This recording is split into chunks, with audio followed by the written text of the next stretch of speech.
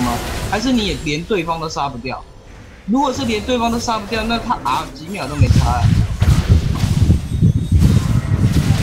而且以前那个版本明明可以秒回去，大家就是喜欢给他撑到一辈子，到 R 的消失都不一定有回去。哎，你知道玩艾克玩久，玩捷达会一直很担心自己的 R 位置会不会怪怪的，然后之后回去的时候会乱远的。